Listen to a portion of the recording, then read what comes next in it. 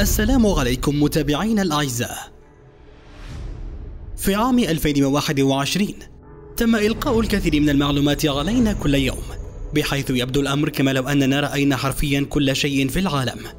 وإذا كنت تعتقد حقا أنك رأيت كل شيء بالفعل فأعتقد أنك مخطئ.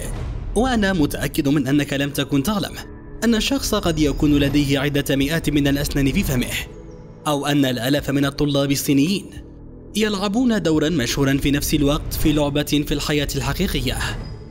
هذا الفيديو سيكون ممتعا لأولئك الذين يعتقدون أنهم رأوا كل شيء في العالم. فابقوا معنا لمتابعة ذلك. لكن وقبل أن نبدأ لا تنسوا الضغط على زر الإعجاب والاشتراك بالقناة حتى يصلكم كل جديد. ترى كم عدد الأسنان في فم الشخص؟ أنا متأكد من أن معظمكم قد قل الآن. الرقم الدقيق 32 حيث يكون لدى الشخص البالغ 32 سنا دائما. هنالك أشخاص على هذا الكوكب أسنانهم أكبر بكثير مما يمكن أن تكون 36 أو 35 أو 33 أو حتى 200 من الصعب تصديق ذلك لكنه صحيح. والسبب هو مرض دانتي. باختصار هذا شذوذ في الأسنان المعبر عنها في وجود الأسنان الزائدة. هذا الشذوذ يتجلى في كل شخص بطرق مختلفة. بالنسبة لبعض الأشخاص فإنها تعطي فقط بضعة أسنان إضافية أي حوالي الربع وآخرين فهي تعطي سنا واحدا فقط من بين ثلاثين. لكن حوالي 5% من مرضى هذا المرض لديهم ثلاث أسنان إضافية وأكثر وفي حالات نادرة للغاية هنالك الكثير من الأسنان التي تغطي تجويف الفم بالكامل تقريبا. على سبيل المثال رجل هندي يدعى أشيك هاواي. كان لديه 232 سنا إضافية. فقط تخيل كم هذا كثير. لحسن الحظ الرجل أجرى عملية جراحية ونزع كل الأسنان الزائدة. مرض رينود أنا متأكد من أن كل واحد منكم قد تعرض لهذا. لقد حملت أكياسا ثقيلة من محل البقالة وعندما أتيت إلى المنزل وضعتها على الأرض وشعرت بالرعب عند النظر إلى أصابعك. الأكياس أغلقت الأوعية الدموية بحيث أصبحت الأصابع شاحبة. الأشخاص المصابون بمرض رينود لا يحتاجون حتى إلى حمل أي شيء ثقيل. المصابون بهذا المرض يعانون من نوبة من الاضطرابات التصويرية لإمداد الدم الشرياني باليدين أو القدمين. لهذا تصبح أصابعهم شاحبة وباردة وتتنمل. بعدها يندفع الدم إلى الأوعية الدموية المصابة. مما يسبب الألم محمرر اليدين والقدمين. الأسباب الحقيقية لمتلازمة رينود غير معروفة بعد. لكن يفترض أن الأوعية الدموية للمرضى الذين يعانون من هذا المرض أكثر حساسية للهرمون والأدرينالين. من الأوعية الدموية للأشخاص الأصحاء ينظر الناس إلى قدرات أجسامهم على أنها شيء يجب عليهم فعله. على سبيل المثال هل نفكر تقريبا في كيفية معالجة الجسم للخدوش والكدمات؟ وحتى أكثر من ذلك. لا نفكر في الموارد التي ينطوي عليها هذا. قد يبدو أن الجروح تلتئم بسرعة كافية ولكن في الواقع يستغرق الأمر حوالي شهر حتى يتلائم جرح الجسد تماما. أمامك تصوير سريع الذي يظهر قدرة الجسم على التجديد. التقط مؤلف هذا الفيديو صور للخدش في إصبعه كل أربعة ساعات وست مرات في اليوم. لمدة 33 يوما.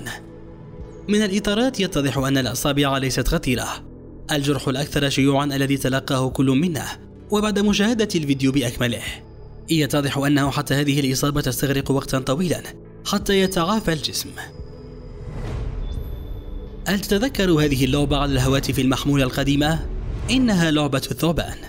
أنا متأكد من أن معظمكم يتذكر ويشعر الآن بإحساس الحنين إلى الماضي. في الصين يبدو أن هذه اللعبة تحظى بشعبية كبيرة. يتم لعب هذا النوع من الألعاب من قبل طلاب مدرسة فيسينغ في مقاطعة شانسيه وهم أكثر المعجبين بهذه اللعبة تفانيا في هذه الإطارات ترى كيف يتم تشغيلها في الحياة الواقعية. المشهد ممتع وغير عادي ونادرا ما يكون. أنا متأكد من أنك لم ترى قط مثل هذه السلسلة من تلاميذ المدرسة.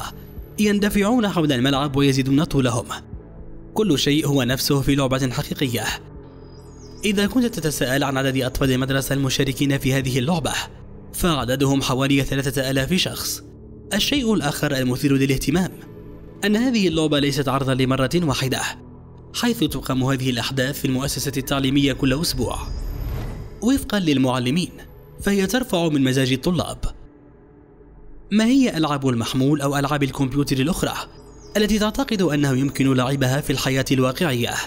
اكتب خياراتك في التعليقات وشاهد المزيد المزيد لأن هنالك العديد من الأشياء المثيرة للاهتمام التي تنتظرك مسبقا والتي ستراها لأول مرة في حياتك هنالك العديد من المدن الفريدة والمثيرة للاهتمام على هذا الكوكب ولكن جزيرة الدمى تبرز من بينها جميعا فهي تقع في إحدى قنوات سوتشي في منطقة ميليكوف بالعاصمة المكسيكية مكسيكو سيتي.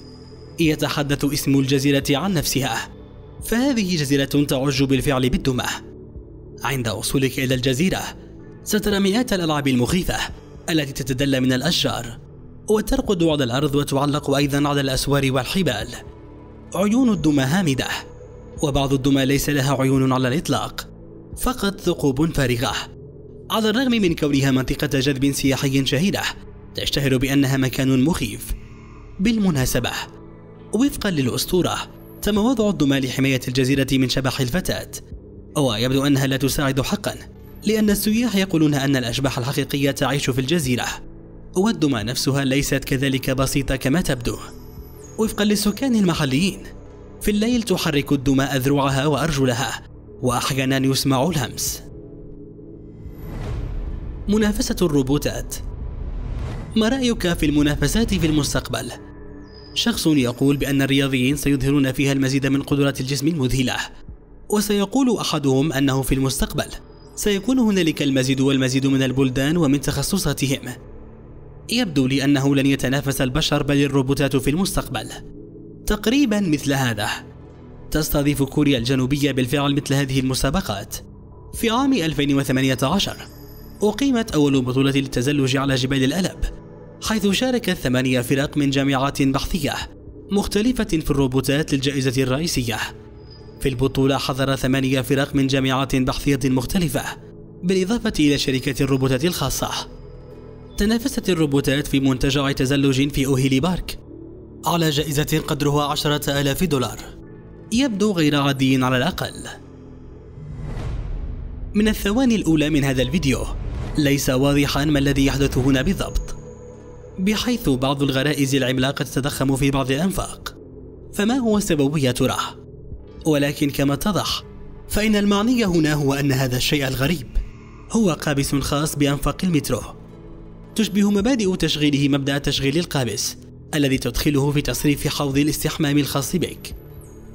تم تصميم هذا القابس العملاق لاحتواء انتشار المياه إذا بدأت الفيضانات فجأة في مترو الأنفاق.